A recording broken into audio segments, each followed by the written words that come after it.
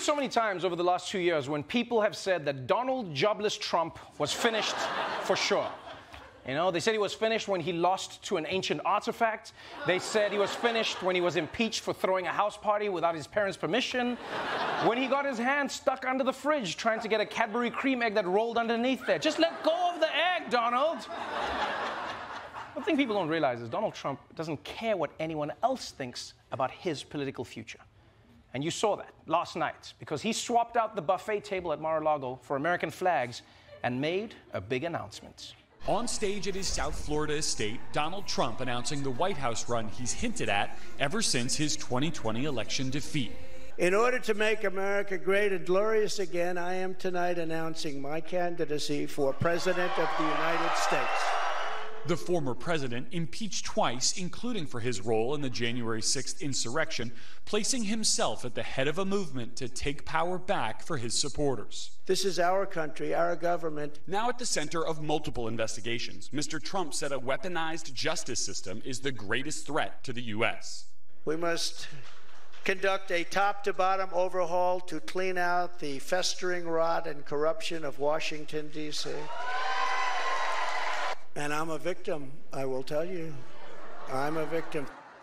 That's right, folks. I'm the biggest victim of all. Every time I do something illegal, they come after me. I've done 30 illegal things. They've come after me at least 20 times. It's so unfair, so unfair. You know, as ridiculous as this is, I'm actually glad he's being honest about why he's running. He's running for the same reason every shirtless guy on cops runs. The popo is chasing him. He said it. But this, this is what Trump does. He's always the victim.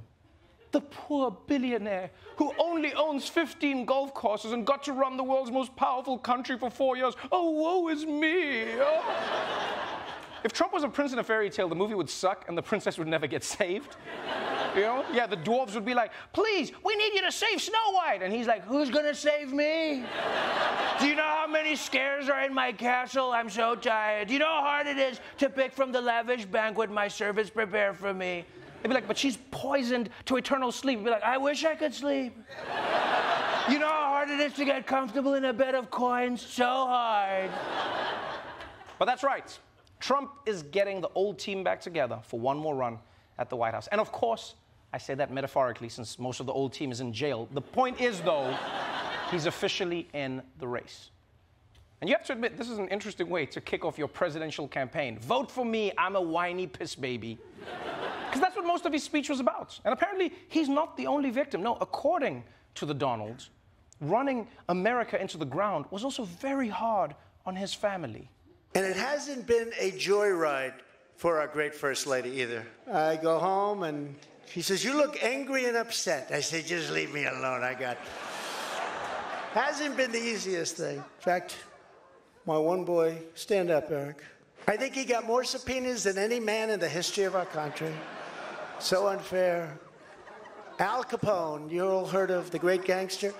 Al Capone got far less. Billy the Kid got almost done. Jesse James, no. Eric Trump got more subpoenas. He's, he's a PhD in subpoenas. They come from Congress. They... Yeah, that's right. No one suffered more from the Trump presidency than the Trump family. Yeah, while the rest of you were living it up in your border cages and enjoying an endless buffet of COVID, Eric Trump was being asked to answer some questions. What a hard life. And look, to be fair, I will admit that Eric has gotten more subpoenas than gunslingers like Billy the Kid and Jesse James.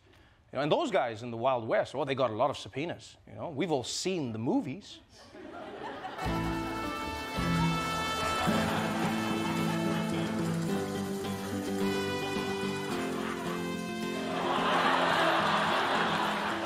I have papers for Mr. Ugly. Is Mr. Ugly here?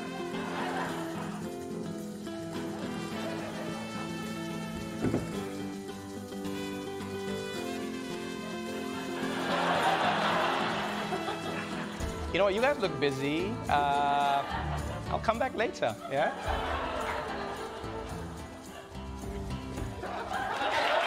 And by the way, by the way, that story that he told, that Trump told about him and Melania, was, was anyone else as surprised as I was to hear it was Trump telling Melania to leave him alone?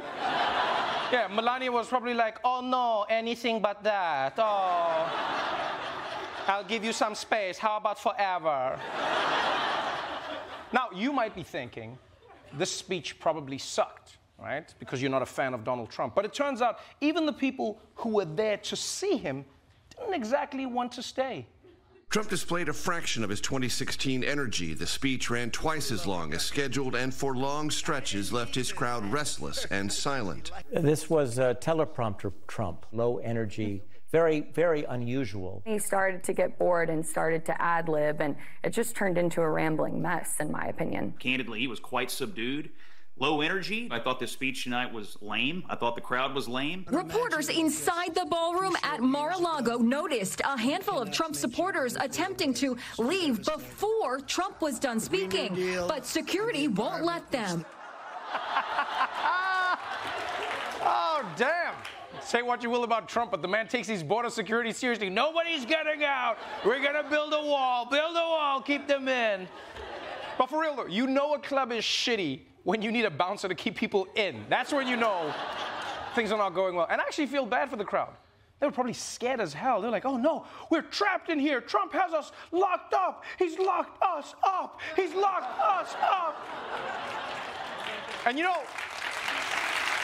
and you know, Trump aside, I will say, I will say, it is a little strange. I'll be honest. I think it is a little strange that so many people in the news media were fixated on how boring the speech was. Like, who cares? You know? For years, they were like, this is not normal. And now they're like, this is too normal. Say, say something about the Mexicans. We need ratings, Donald. Now, despite Trump's triumphant return, the word on the streets is that he might not have the support that he needs to win. Yeah, apparently Republican elites are clamoring for Ron DeSantis. All right, uh, major Republican donors have announced that they won't back Trump this time. Even Ivanka released a statement saying she doesn't want to be a part of the campaign. Instead, she wants to focus on her family, which, of course, I understand. I mean, she's got that adorable little boy at home. Uh, and I think she has kids, you know? So, yeah, a lot of major players in the Republican world are not thrilled that Donald Trump is running again. Although apparently, many Democrats are happy. Yeah, including people like Bernie Sanders, who said Trump running may be a horror show for the country, but I've gotta say that as a politician who wants to see that no Republican is elected to the White House in 2024, from that perspective, his candidacy is probably a good thing. and yeah, you know, Bernie, Bernie's probably right.